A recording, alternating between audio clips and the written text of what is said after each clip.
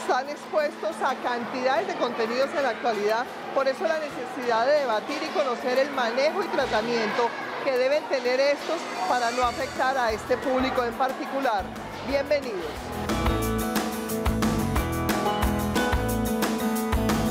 La Autoridad Nacional de Televisión ha venido recibiendo manifestaciones del público televidente acerca de inquietudes sobre contenidos que los niños están viendo en televisión o que están siendo producidos precisamente para ellos.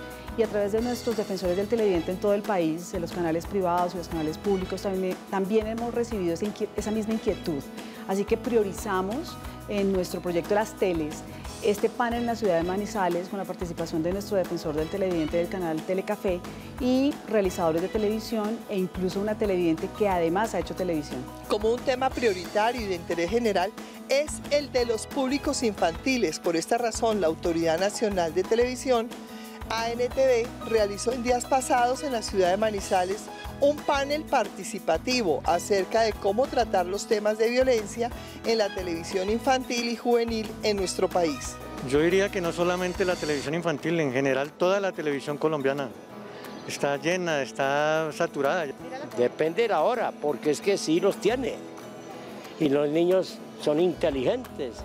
Entonces hay que saber a qué horas pasan esos contenidos. Lo hacen en forma humorística pero igual sigue siendo contenidos violentos, igual los niños intentan, intentan imitar esas cosas y cuando uno les explica, no, eso no se debe hacer porque les hace daño, es bastante difícil porque ellos dicen, ay, pero los muñequitos lo hacen y mira, no les pasa nada, hay que explicarles como esas cosas, entonces sí, me parece que sí.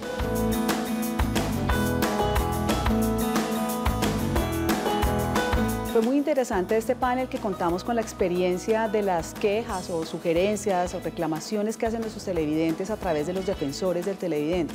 Es decir, se trataba de casos reales en donde a través de ciertos contenidos la ciudadanía expresaba su inquietud sobre si los niños deben ser expuestos a violencia en televisión.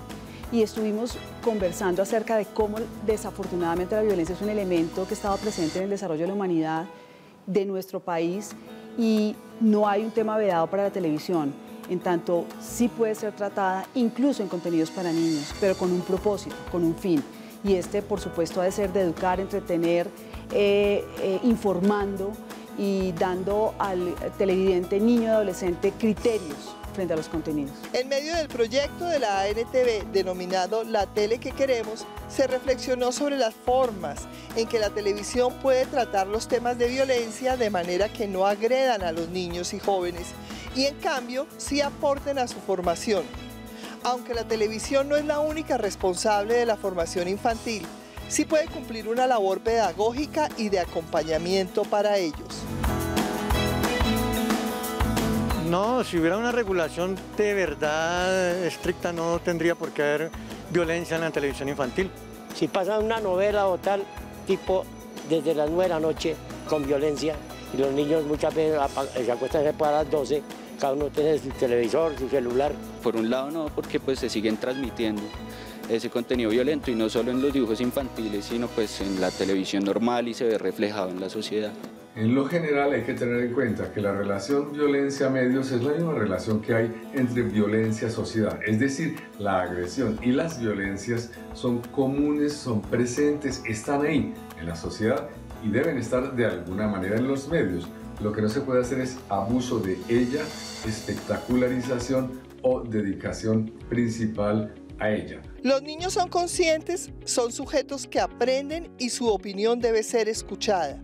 No debe haber temas vedados en la televisión, pero se debe trabajar por encontrar la manera de tratar los temas de forma adecuada y responsable, especialmente cuando existen niños de por medio. Asimismo es fundamental proteger a los menores, por lo que temas de violencia no deben ser transmitidos en los horarios familiares. Yo diría que hay dos conclusiones principales. La Autoridad Nacional de Televisión, a partir de una decisión de su Junta, ha hecho que la línea de infancia y adolescencia empiece a dar eh, elementos de reflexión y diálogo con realizadores de televisión, con televidentes y con nuestros canales y programadores a lo largo del país. No puede hacerse televisión de cualquier tipo como para todas las franjas si se trata de la televisión infantil. Debe buscarse que sea efectivamente para los infantes. Yo creo que va desde el comienzo, desde la creación misma del dibujo y el objetivo que tiene como tal el, el dibujo, la caricatura. Porque sería como una censura total, pero igual se perdería el contenido del programa, entonces no, no sabría cómo, cómo podrían hacerlo en este momento. Este medio masivo está llamado a seguir una apuesta por contenidos de calidad que influyan en la creación de las actitudes, la adquisición de habilidades y la formación de comportamiento de los menores de manera positiva. Hasta pronto.